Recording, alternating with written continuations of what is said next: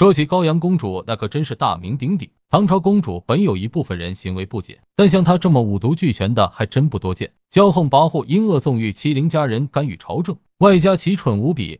前面四条都不算新鲜，第五条都占到才叫人间极品，惹得身边倒霉男子个个沾之即亡，其效率之高堪比鹤顶红。说起高阳公主，那可真是大名鼎鼎。唐朝公主本有一部分人行为不检，但像她这么五毒俱全的还真不多见。骄横跋扈、阴恶纵欲、欺凌家人、干预朝政，外加奇蠢无比。前面四条都不算新鲜，第五条都占到才叫人间极品，惹得身边倒霉男子个个沾之即亡，其效率之高堪比鹤顶红。高阳公主，唐太宗的庶出女儿，下嫁房玄龄，次子房遗爱。婚后不久就私通和尚辩机，完全可以理解一个物质生活丰富、精神生活空虚的贵妇遇上一个精神需求圆满、生理需求饥渴的高僧，正好天雷勾动地火，损有余益，补不足。高阳公主前后赏赐给辩机的财物，据说数以亿计，这数字看起来很吓人，折合一下也就几十万贯，够萧金可齐和下扬州的干活。然而，这样的露水姻缘，不管有多么热烈，最终也是难有任何结果的。更糟糕的是，最后还被人揭发，太宗大怒，腰斩辩机，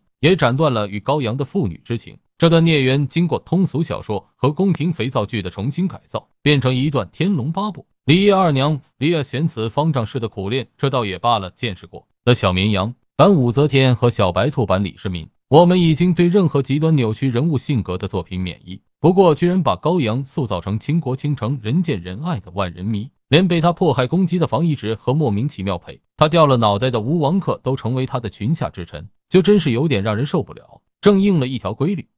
恶俗而缺乏想象力的作者，表现女主角有魅力的唯一方式，就是为她安排面首若干可怜的吴王可，一早远离长安，去了他的封地遥远的安州，最后死的不明不白不说，居然还被编排成甘冒乱伦之名爱上高阳这种女人，实在忍不住让人同情。太宗嫌有高阳这样的女儿丢了他的脸，高阳也恼恨太宗杀了他的和尚秦王。不过太宗在世的时候，他是拿着个老爹一点办法也没有的。高宗登基之后，他才重新活跃起来，大概是看着高宗。好欺负，一心想借着打倒高宗来报复太宗。正巧她老公房遗爱因与魏王李泰交往过密，高宗上台之后也是属于失势的一派，这下两夫妻倒是有了共同语言，常和同样不满现状的皇亲国戚，如魏王旧党巴陵公主驸马柴令武，做事被贬的丹阳公。主驸马薛万彻，自认为比李治更有资格做皇位的京王元景等等，开小会说些大逆不道、毁谤朝政的话。玩些假如大便呼气，我被当成以成以成以成以之类的架空小说接龙，这样口没遮拦，按律仪式死罪，在小圈子里几个人议论一下倒也罢了。偏高阳公主还在不断惹事对象，是她一直看不顺眼的大伯房遗直。房遗直以房玄龄长子的身份继承了爵位，什么都要最好的高阳公主，于是对他百般刁难攻击。从太宗时代起就开始告恶状，希望把他整倒，让自己老公承袭爵位。次次告状，次次落空，反正他是公主诬告，大不了挨顿骂。久而久之，几乎成为这个无聊少妇乐此不疲的游戏。房遗直的一再忍耐，不能收到任何效果。在高阳公主再一次诬告他无礼。的时候，按后果的严重程度，这个无理大致可以翻译成强奸未遂罪。房遗之终于忍无可忍，你可以质疑他的道德观，但不可以质疑他的审美观。高阳还是比较适合没见过世面的出家人呵呵说笑了。其实是担心这对无法无天的小夫妻走有一天会捅出什么篓子，连累整个房家了。索性把房遗爱和高阳公主聚众谋反一事揭发了出来。高阳告房遗直谋反不过空口白话，房遗之告高阳却是有凭有据。公主不仅口出怨言，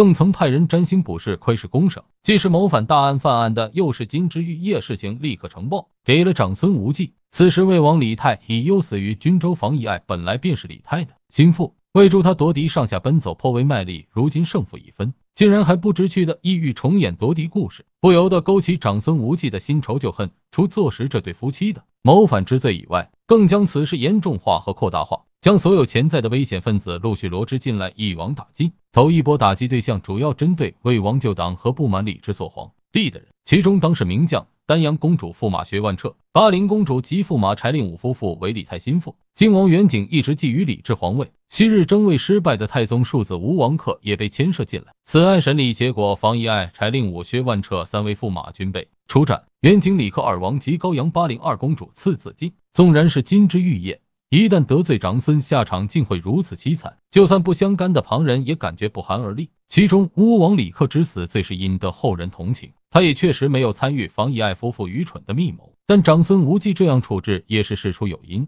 吴王克并非没有野心的人，并不见得心甘情愿的奉异母兄弟李治为主。如果说长孙无忌对这些人的处置还有维护政局稳定的考虑，那之后的进一步株连就纯属为保私怨了。现任宰相是忠宇文杰，李唐宗室名将江夏王李道宗，九江公主驸马执师司隶，皆作与房遗爱交通，流放岭南，其家属也没为官奴。之后更废克母弟蜀王因为庶人软禁于巴州，房遗直贬春州统领尉万彻，帝万倍刘交州。罢房玄龄配享，李唐宗室之中，以江夏王李道宗与河间王李孝公军功最甚。李道宗为人也很谦和，只因与长孙无忌不和，贞观末期自请改任散官，一一隐退，但还是逃不过被罗织立案的命运，病死于流放途中。无论用什么理由，也不能为长孙无忌的这种做法开脱，这已经远远超出了排除异己的范畴，手段不免酷烈毒辣，其专权朋党，滥用刑法之甚，实为大唐开国以来之仅见。被人视为伊尹、霍光一类的权臣，不能为无因。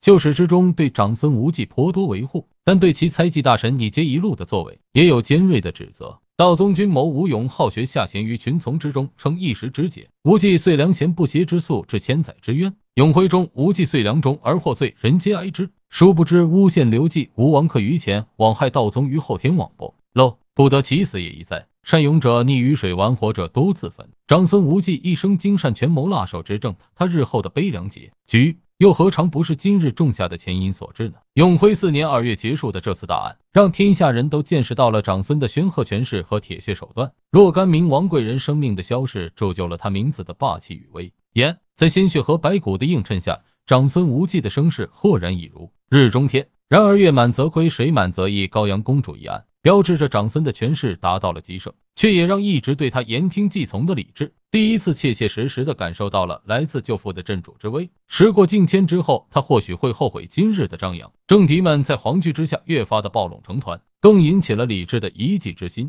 踌躇满志的长孙无忌再也想不到，一向温顺听话的小外甥心头的阴云正在越聚越浓。只待一个女子的纤纤素手挑动，便将化为惊雷密雨。破天富贵，顷刻被雨打风吹尽。盈亏之间，祸福一发，又岂是凡夫俗子能够看破的呢？感谢您收看启哥说历史频道，欢迎将您的想法在评论区留言给我们，我们下期再见。